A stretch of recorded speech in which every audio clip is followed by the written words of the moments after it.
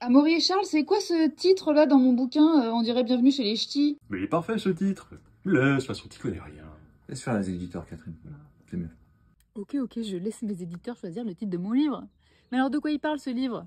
Bon, vous allez y retrouver 22 séances de psychothérapie romancées, mais réalistes, qui vont vous permettre de découvrir des concepts de psychologie et différentes approches de psychothérapie. Alors j'ai voulu ce livre avec des psys qui sont vraiment humains et donc complètement imparfaits et qui se retrouvent donc dans des situations un petit peu cocasses parfois, mais qui ne sont jamais pas thérapeutiques. C'est des psys qui se dévoilent auprès de leurs patients, mais toujours avec pour objectif de faire progresser la thérapie. Alors à qui s'adresse ce livre? Bah, Comme il est romancé, il va s'adresser à toutes celles et ceux qui aiment les histoires de psychologie. Je l'ai voulu parfois émouvant, parfois drôle, mais surtout crédible dans les histoires qu'il propose.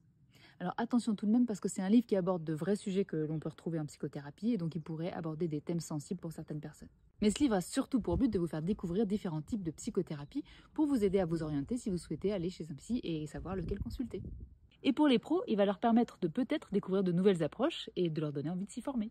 À la fin de chaque chapitre, j'y détaille aussi des concepts psy pour aller plus en profondeur et mieux comprendre les stratégies utilisées par les psys durant le chapitre. Et puis évidemment, il ne faut pas oublier les magnifiques illustrations de mon ami Psy Image avec qui j'ai déjà travaillé sur les cartes psy. Alors le livre sort ce mardi, donc aujourd'hui, et j'ai hâte d'avoir vos retours. Bon alors, euh, Amaury et Charles, puisque vous avez choisi le titre, c'est moi qui choisis les couleurs, c'est ça? Et Charles, Oui c'est quoi cette couleur? Bah, c'est ce qu'on avait prévu, non?